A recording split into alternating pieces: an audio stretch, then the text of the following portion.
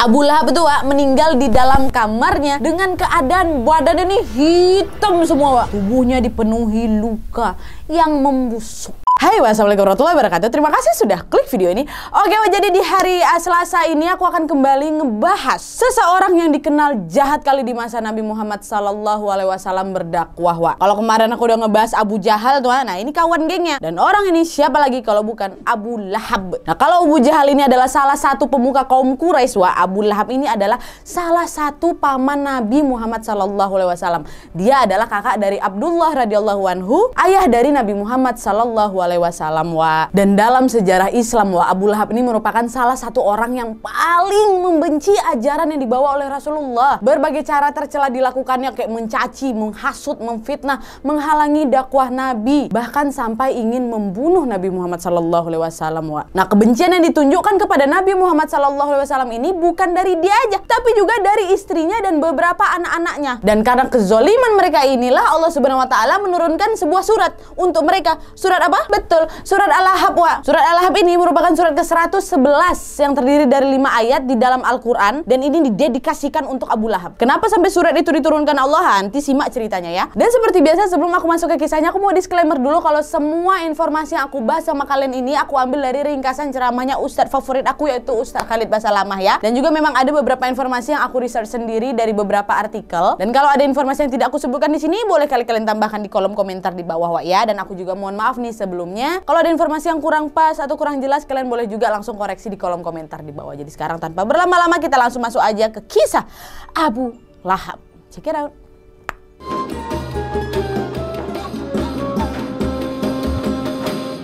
Oke, Wak, jadi Abu Lahab ini aslinya memiliki nama Abdul Uzza bin Abdul Muthalib. Wah, ayahnya adalah Abdul Muthalib. Ya, kakeknya Rasul. Dan ibunya adalah Lubna bin Hajir bin Abdul Manaf dari kabilah Kuzai namanya. Nah, ada riwayat Wak yang mengatakan julukan Abu Lahab sendiri dia dapatkan dari ayahnya memang. Karena waktu kecil Wak dia dikenal dari uh, wajahnya yang terlihat cerah gitu. Abu Lahab pun tumbuh menjadi salah satu tokoh berpengaruh di Quraisy pada saat itu. Wak. Diperkirakan pekerjaannya waktu itu adalah sebagai seorang saudagar uh, pedagang gitulah. Sedangkan istrinya Abu Lahab bernama Arwa binti Harb bin Umayyah. Nama populer istrinya ini Ummu Jamil, wa, yang berarti ibu kecantikan gitu. Dia adalah putri dari Harb, pemimpin besar suku Quraisy, dan dia ini juga merupakan saudara perempuannya Abu Sofyan. Ingat kalian Abu Sofyan? Yang dengar kisah Badar pasti tahu nih kisah Abu Sofyan. Salah satu orang yang menentang Rasul pada awalnya memang, tapi nanti akhirnya uh, dia masuk Islam setelah pembebasan kota Mekah. Dah, balik lagi. Nah, Ummu Jamil dan Abu Lahab ini pun menikah, terus mereka mempunyai enam orang anak, Wak. Yang pertama Utbah, Mu'atab, Utabah, Durah, Subayyah, dan Khalidah. Ya. Nah, sebelum Nabi Muhammad SAW diangkat menjadi Rasul, Wak, sebenarnya hubungan uh, Nabi dengan Abu Lahab ini bebe aja. Dalam suatu riwayat, bahkan nih, Wak, ya, Abu Lahab ini dikabarkan sangat senang sekali ketika menyambut kelahiran Nabi Muhammad SAW, Wak.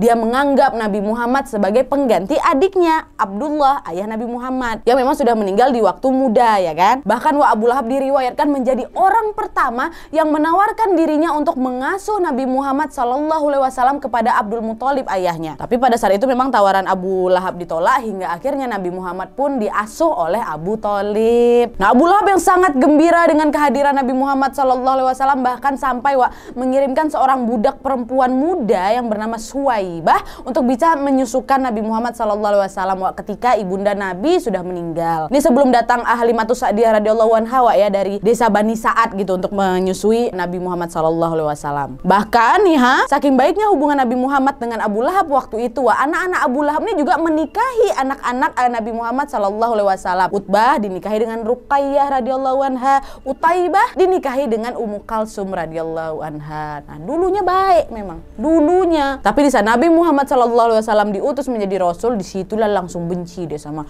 Nabi Muhammad sallallahu alaihi wasallam. Wah, ini kita masuk nih ya ke kejahatan apa saja yang sudah dilakukan Abu Lahab dan keluarganya kepada Rasul. Ya.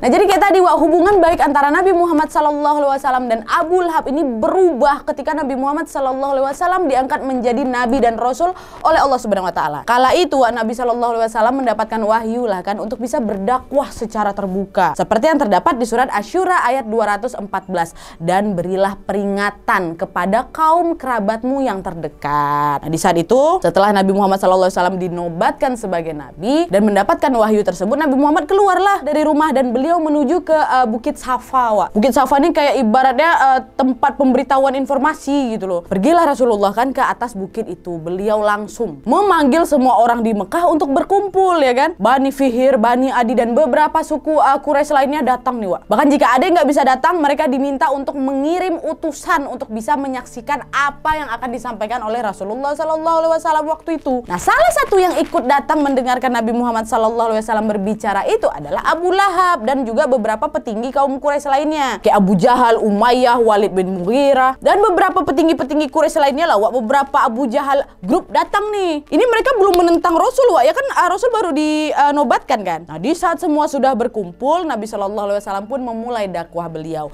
Beliau berkata wahai kaum Quraisy kalau aku katakan kepada kamu bahwa musuh dengan kuda perangnya ada di balik bukit ini adakah di antara kamu yang percaya? Mereka serentak semua jawab wah iya kami mempercayainya kami tidak pernah menilai kamu kecuali kamu adalah orang yang benar. Karena kamu tidak pernah berdusta Muhammad. Semua pada ngomong kayak gitu kan? Memang kan uh, Rasulullah di Mekah dikenal sebagai orang yang jujur dan selalu dapat dipercaya ya kan? Kami mempercayai Muhammad kami mempercayai Muhammad gitu. Nah setelah mendengarkan semua jawaban tersebut beliau pun meneruskanlah perkataan beliau dengan mengatakan sesungguhnya aku adalah pemberi peringatan atau utusan sebelum adanya azab atau kiamat. Nah mendengar itu semua warga Mekah diam. Heran mau nggak percaya kata Nabi Muhammad tapi beliau dikenal orang yang paling di, bisa dipercaya dan paling jujur nggak pernah berbohong. Tapi tiba-tiba mengaku menjadi utusan Allah. Orang bingung diam. Pada tatap-tatapan nih kan ini benar nggak yang dibilang nih? Tapi Muhammad nggak pernah berbohong. Nah tapi tiba-tiba wa Abu Lahab datang teriak tabalak kata Nauzubillah zalik. Tabalak tuh artinya celaka kamu gitu. Apakah hanya untuk tujuan ini kamu kumpulkan kami? kata Abu Lahab. Marah dia wa jadi dari sini Abu Lahab inilah menjadi orang pertama di muka bumi yang menolak ajaran Islam wa Nabi Muhammad yang mendengar perkataan pamannya Abu Lahab pun bersabar dan tidak lama setelah penolakan keras Abu Lahab ini Allah pun langsung kontan menurunkan surat Al-Lahab melalui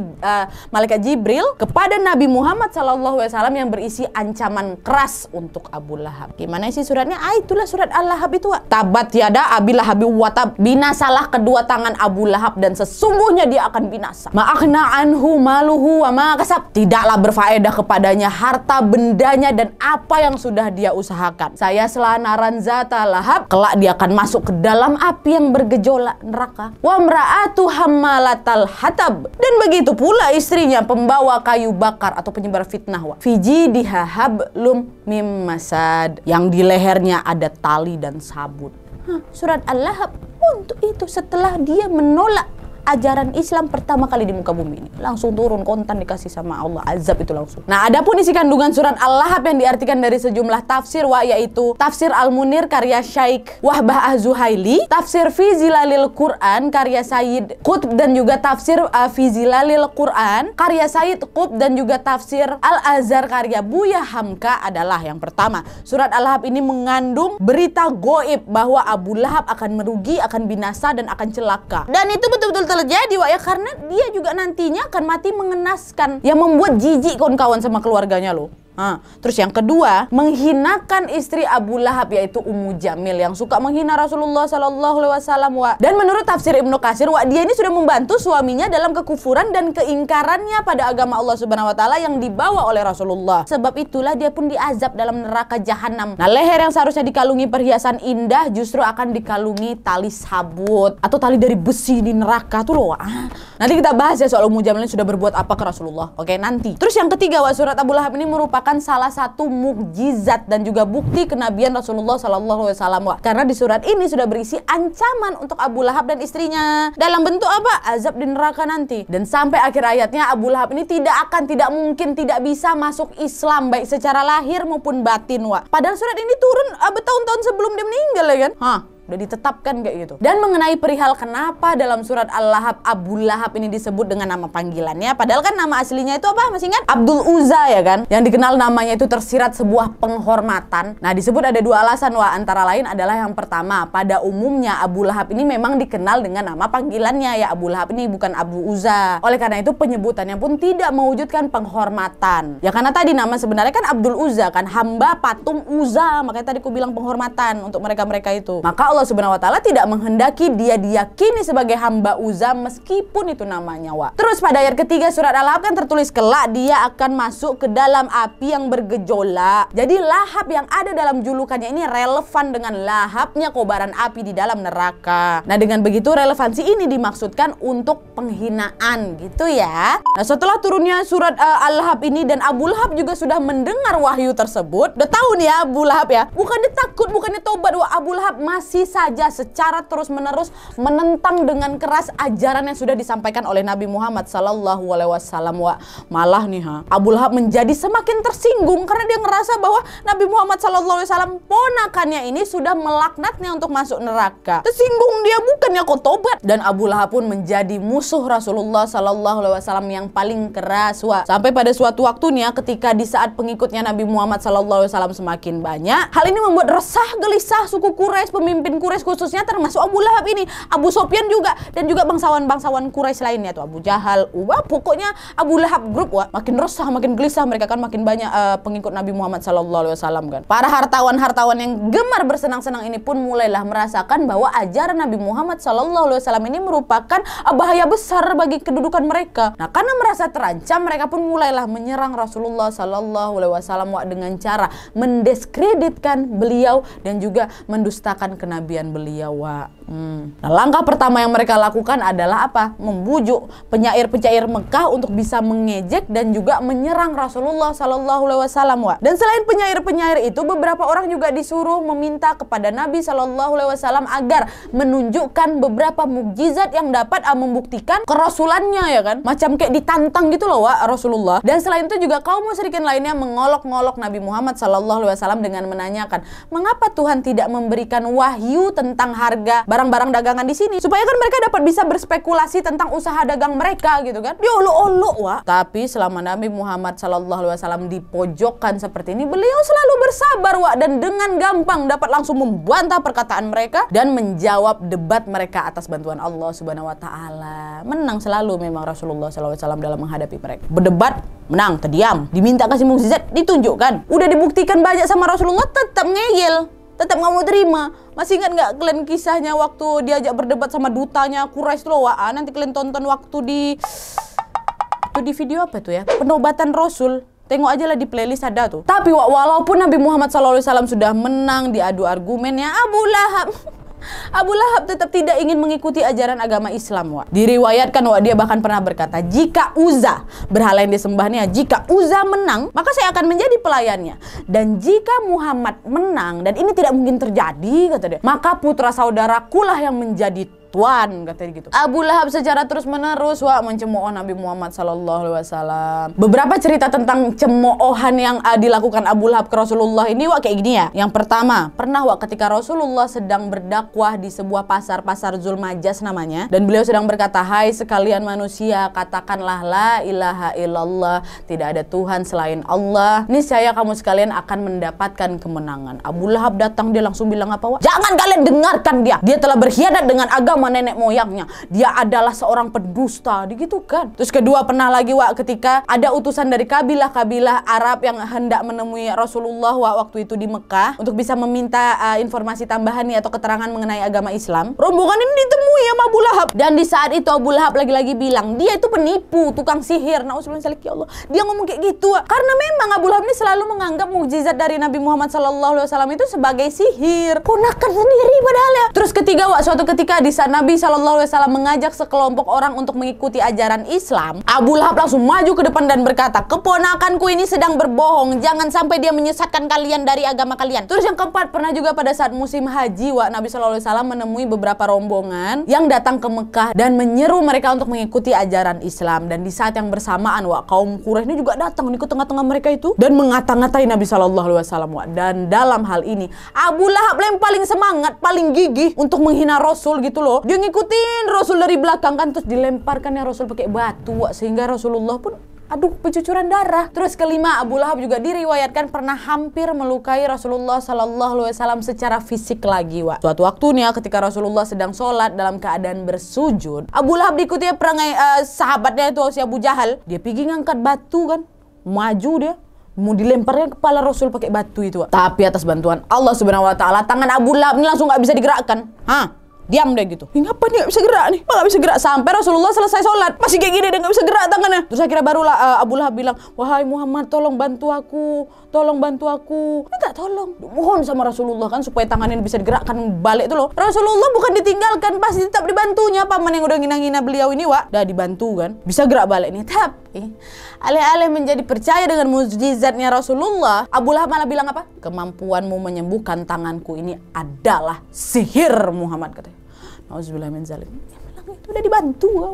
Ih, nah cemoohan ini wak bukan hanya Abu Lahab aja yang ngelakuin, tapi siapa istrinya juga nih si Ummu Jamil ini makanya aku cerita ini. Sampai akhirnya surat Abu Lahab ini juga ditujukan untuk dia. Nah jadi wak diriwayatkan pernah pada suatu hari Ummu Jamil ini menebarkan duri-duri ke jalan yang biasanya dilalui oleh Rasulullah dengan tujuan untuk mencelakai Rasul. Di saat dia tidak berhasil mencelakai uh, Rasulullah kan, dia pun kemudian datang lagi nih ke Masjidil Haram dengan segenggam batu wak untuk menyakiti Rasulullah. Tapi waktu itu upayanya gagal wak. Dia nggak berhasil mencelakai Rasul kan. Dia kemudian datang nih ke Masjidil Haram dengan segenggam batu untuk bisa menyakiti Rasulullah. Sesampainya Ummu Jamil di Masjidil Haram bawa batunya, dia melihat Abu Bakar radhiyallahu anhu, tapi dia tidak melihat Rasulullah. Dia pun langsung pergi ke Abu Bakar kan, "Wahai Abu Bakar, di mana kawan kau? Aku mendengar dia telah mengatakan bahwa aku akan masuk neraka. Demi Allah, jika aku menjempainya akan aku sumpal mulutnya pakai batu. Ini ya Allah jat kale. Dan setelah itu pergi dia. Ya. Nah Abu Bakar radhiyallahu anhu pada saat itu hanya diam aja dan Abu Bakar berkata, "Wahai Rasulullah, apakah dia tidak melihatmu?" Rasulullah pun menjawab, "Wah, Allah Subhanahu wa taala telah membuatnya sama sekali tidak melihatku." Jadi memang ternyata wah Rasulullah tuh ada sebenarnya di samping Abu Bakar radhiyallahu anhu, ada. Bukan di sebelah Abu Bakar, tapi Ummu Jamil nggak bisa nengok Rasulullah.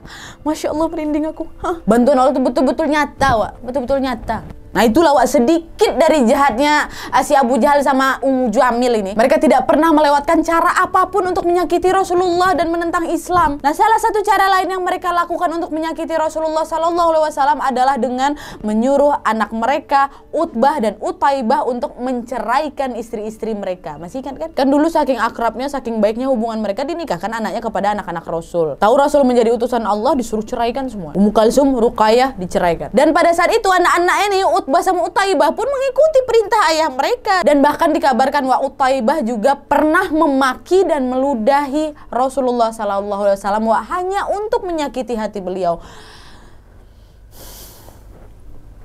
Wih, salah apa? Dan gak usah nunggu lama, balasan yang dikasih Allah Subhanahu wa taala kepada Utaibah adalah apa? Ketika dia sedang dalam perjalanan dagang menuju kota Syam, di saat itu tiba-tiba datang seekor singa buas mendekati Utaibah aja nih, padahal ada kafilah-kafilah lain kan Utaibah aja di dekat. Hmm? Singa itu dengan ganasnya langsung menerkam tubuh Utaibah dicabek-cabeknya baru nanti habis itu dimakan sama dia ah, kau langsung dibalas konten sama Allah Subhanahu wa taala kan. Hmm. Dan tambah dikit lagi wah nanti dua putra Abu Lahab lainnya Utaibah dan Mu'atab nanti akhirnya memeluk Islam wah setelah Fathu Mekah atau pembebasan kota Mekah dan ikut serta dalam perang Hunain nanti tuh. Dan dua orang ini tergolong orang yang tidak melarikan diri dari uh, perang Hunain dan setia di sisi Rasulullah Sallallahu alaihi wasallam. Nanti kita ceritain soal perang-perang lagi perang Uhud aja belum sempat lagi aku buat ya kan. Dah tuh, anak-anaknya juga dulu ikut-ikutan kayak gitu sampai ada satu langsung dibayar konten di azab sama Allah kan. Akhir hidup Abu Lahab ini gimana? Betul kena azab dia nah. Nah ini nih sekarang kita bahas cerita di akhir hidupnya Abu Lahab wah ya. Kalian dengar ini.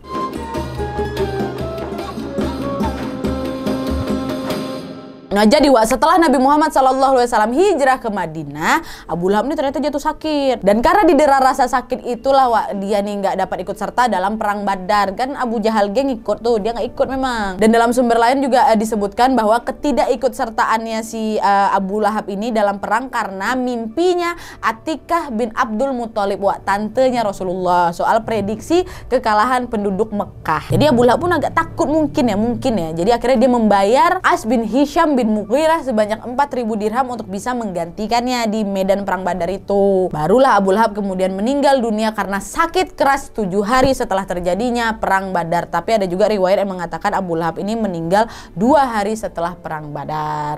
Dan seperti janji Allah Subhanahu Wa Taala wa Abdullah eh Abdu maaf Abu Lahab pun meninggal secara terhina. Wa. Meninggalnya gimana? Jadi Abu Lahab itu Wak, meninggal di dalam kamarnya dengan keadaan badannya nih hitam semua Wak. Tubuhnya dipenuhi luka yang membusuk. Di saat itu nggak ada orang yang mau mendekat. Bahkan anak-anaknya, istrinya, keluarganya nggak ada yang mau dekat. Mereka khawatir Wak, kalau mereka mendekat mereka akan tertular penyakit yang diderita oleh Abu Lahab itu. Dan kalian tahu setelah Abu Lahab meninggal, jasad Abu Lahab ini nggak diurus selama tiga hari Wak. Nggak diurus, makin busuk lah ya kan. Sampai akhirnya anak-anaknya Abu Lahab ini pun berinisiatif untuk melempari kamar Abu Lahab dengan batu dari kejauhan. Busuk. Batu sampai kamar itu timbun uh, sama batu. Nah terus setelah kamar Abu Lahab itu timbun pakai batu kan mereka udah nggak mau lagi menggunakan rumah Abu Lahab. Nah, orang kaya besar. Dan selain itu ada juga riwayat wah yang mengatakan dikarenakan khawatir penyakitnya Abu Lahab ini bisa menular dan juga jasadnya berbau sangat busuk juga wah kaum Quraisy pun akhirnya menggalikan lubang kubur untuknya. Kemudian mayat Abu Lahab ini didorong wah pakai sebilah uh, kayu nggak dibawa aduh godong bawa pakai kayu. Kayu. Hmm, gitu ah. Gitu sampai masuk ke dalam lubang itu. Nah terus dari jauh tuh baru orang-orang Quraisy melempari mayatnya Abu Lahab dengan batu tuh, Wak. Enggak, ya udah. Jadi bisa ketutup mayatnya Abu Lahab dengan batu lemparan mereka. Mereka terus-terusan lempar, Wak, sampai mereka ini yakin bahwa uh, mayatnya Abu Lahab itu betul-betul udah ketutup rapat sama timbunan batu tuh. Konon juga disebutkan bau busuk kuburannya Abu Lahab masih tercium sampai sekarang, Wak. Sampai sekarang. Hal itu juga lah yang membuat warga sekitar pun akhirnya pindah dan meninggalkan kota tempat dikuburnya Abu Lahab. Kuburannya nggak wajar juga katanya, nggak ada gunung gundukan kayak makam-makam pada umumnya kan nggak ada. Cuman ada tumpukan batu, dataran usang dikelilingi rumah kosong. Itu. Ha. Nauzubillah min zalik. Ini kan padahal orang kaya Mekah loh. Itulah kenapa di uh, ayat keberapa itu tidak ada guna harta-hartamu kan. Hah. Karena kalau katanya dia udah bayar semua tabib-tabib, udah ngasih obat semua sampai duit-duitnya udah banyak kali dihabisin kan. Nggak mempan, nggak sembuh, mati kau. Nah kok tiba-tiba bisa meninggal dan emang kenapa sebelumnya? Nah, ini Wak, tentang penyebab kematiannya Abu Lahab ini ada dua pendapat ya. Pendapat pertama disebutkan bahwa Abu Lahab ini meninggal karena terjangkit penyakit kusta setelah dia mendengar kemenangan kaum muslimin di dalam perang Badar. Nah itu yang pertama. Yang kedua, Wak, disebutkan penyebab penyakitnya ini karena hantamannya Ummu Fadl, Wak, yaitu istri Sayyidina Abbas radhiyallahu anhu, omnya Rasulullah yang lain. Yang marah karena sang budak Abu Rafi dipukul Abu Lahab, Wak, setelah gembira atas kemenangan muslim di perang Badar. Nah, jadi ceritanya kayak gini, Wak, waktu itu diceritakan Abu Lahab ini langsung datang ke rumah Abbas, saudaranya kan yang ikut perang Badar juga. Nah, waktu itu kedatangan Abu Lahab ini untuk menanyakan ke Ummu Fadl tentang kebenaran nasibnya Sayyidina Abbas, apakah selamat atau meninggal di medan perang Badar gitu. Nah, di saat sedang menanyakan hal ini, lewatlah seorang pemuda yang ikut berperang di uh, perang Badar, wa. Nah, pemuda ini pun berkata bahwa kaum Nabi Muhammad telah memenangkan peperangan. Kaum muslimin memiliki petarung yang menggunakan jubah serba putih dan membawa pedang. Nah, di saat pemuda itu menyerukan hal tersebut lewat budak Ummu Fadl yaitu Abu Rafi itu yang ternyata sudah memeluk agama Islam, wa. dan dia pun berkata, itu adalah malaikat yang membantu Nabi Muhammad sallallahu alaihi wasallam, wa. Nah, Abu Lahab yang mendengar perkataan Abu Rafi ini pun jadi naik pitam panas dia. Dia langsung ambil sebuah kayu, dipukul Abu Rafi'i berkali-kali. Buak, buak, keras-keras kan. Ummu Fadel nggak terima. Budak main dipukul kayak gitu aja kan. Akhirnya Ummu Fadel ngambil kayu, dipukul kepala Abu Lahab dari belakang, Wak. Nah, dari situlah kepala Abu Lahab ini pun robek, darahnya bercucuran. Nah setelah itu selang tujuh malam luka di kepalanya Abu Lahab ini udah terinfeksi parah dan langsung menggerogoti kesehatannya Abu Lahab sampai akhir nafas terakhirnya. Nah kalau kata Ustaz Khalid Wak, kematian Abu Lahab ini ya dikarenakan hantamannya Ummu Fadl ini. Jadi Abu Lahab itu meninggal karena dipukul saudara iparnya sendiri. Ah, terus Ummu Jamil gimana nak bini ya? Ah, Ummu Jamil wak diriwayatkan meninggal pada saat dia duduk di atas batu di padang pasir dengan kalung di lehernya. Kalian tahu kalung itu yang memang dia donasikannya untuk gerakan menentang Nabi Muhammad SAW. Tewas cekek pakai itu juga pakai kalung yang dia puji-puji itu. Jadi kayak Ummu Jamil tuh udah mau ngumpulin pasukan pakai itulah pakai kalungnya itu ha untuk bisa menentang Rasulullah kan. Ha? belum niatmu terlaksana dan diambil nyawamu sama Allah Subhanahu wa taala. Oke Wak, jadi itu tadi kisah tentang Abu Jahal. Tapi sebelum aku tutupnya aku cuma mau nambah satu cerita lagi nih Wak ya Yaitu tentang riwayat yang mengatakan bahwa Sebenarnya hukuman Abu Lahab ini Wak Diringankan di tiap hari Senin. Hukuman untuk dia. Nah keringanan ini Wak diberikan oleh Allah Subhanahu Wa Taala Karena Abu Lahab Sebelum tahu Nabi Muhammad SAW diutus menjadi Nabi Abu Lahab kan sangat bahagia, sangat happy kali kan Untuk menyambut kelahiran uh, uh, ponakannya itu. Nah kan hal itulah Wak Tiap hari Senin hukumannya Abu Lahab diringankan oleh Allah Subhanahu Wa Taala. Bisa kalian bayangkan kan? Abu Lahab yang udah segini jahatnya sama Rasulullah SAW masih diberikan keringanan oleh Allah Subhanahu Wa Taala karena dulunya dia pernah merasa bahagia dengan kelahiran baginda Rasul. Apalagi orang-orang yang selalu mencintai Rasulullah dan merasa bahagia karena mempunyai junjungan besar seperti Rasulullah SAW kan wah uh merinding aku. Allah maha pemurah dan penyayang. Semoga saja kita semua termasuk dalam orang-orang ini Wak ya. Bukan orang-orang kayak Abu Lahab Tapi orang-orang yang selalu menyayangi Rasul. Setiap harinya selalu merindukan Rasul Selalu berselawat kepada Rasul tiap harinya. Dan semoga saja kita dijauhkan dari sifat-sifat yang dimiliki oleh Abu Lahab dan Ummu Jamil Ya jangan mentang-mentang kau omnya, kau ngerasa ponakanmu nggak tahu apa-apa nggak boleh juga. Kalau misalnya kita tua diingatin sama anak kecil, kakak jangan kayak gitu ngomongnya gini-gini. Apa kau masih kecil aja kau jangan kayak gitu. Oh iya deh maaf ya deh ya makasih sudah diingatkan gitu. Abu Lahab ini kan salah satunya gegara dia merasa ah itu ponakan aku tuh. Tahu apa dia aku yang lebih duluan hidup kok dibanding uh, kau kayak gitu. Jangan ya. Kalau memang betul katanya ikuti. Kalau salah kita minta maaf walaupun dia anak kecil. Maaf ya dek ya. Maaf maaf ya. Makasih udah diingatkan nah, gitu kan aja. Gitu ya. Oke jadi sampai segini dulu videonya. Sekali lagi aku minta maaf kalau ada salah-salah kata atau ada salah pengucapan dan segala macam. Aku uh, minta maaf sekali lagi. Dikoreksi aja di kolom komentar di bawah dengan baik Wak ya. Dan terima kasih sudah menonton video ini sampai habis. Kalau kalian suka video ini klik like ya. Jangan lupa komen di bawah untuk ide dan saran-saran untuk video selanjutnya. Jangan lupa nyalain notifikasinya supaya kalian tahu kalau aku upload video baru. And as always jangan lupa untuk klik tombol subscribe